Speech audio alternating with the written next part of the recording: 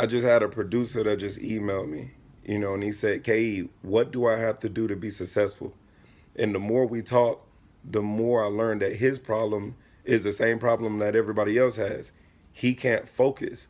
You know what I mean? I, so I told him, number one, do you have a daily planner? He said, no. That's where you're losing. You have to plan your daily activities. You have to plan your goals. You know, and then that's what you, you focus on that every day. You know, a lot of people they're distracted. Like I see a lot of people that, yeah, you tell me you want to be an artist. Yeah, you tell me you want to be a producer.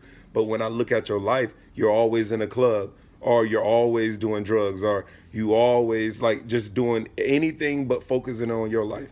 And that's the main key. That's why 5% of the world is successful and the other 95% is because they got fucked up routines. You know what I'm saying? So change your daily habits and then it changes your life. You want to be successful, act like you want to be successful. You know what I mean? I, I could judge based on your life or what how, how successful you're going to be. You know what I mean? So I think that you should become the person that you would bet on. Just become the person that you would bet on, and, and there you go.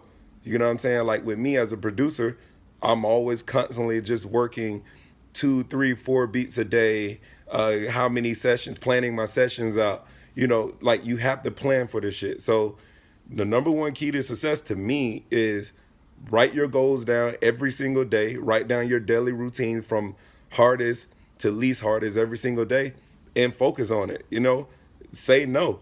If people email you or people text you or people call you, oh, let's do this.